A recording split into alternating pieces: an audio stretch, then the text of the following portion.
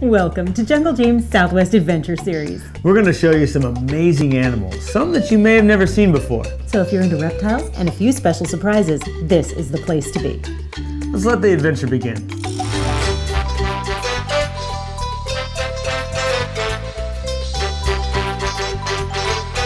I got him, I got him.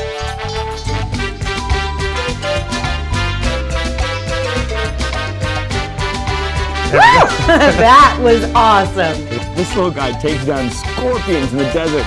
They run from him.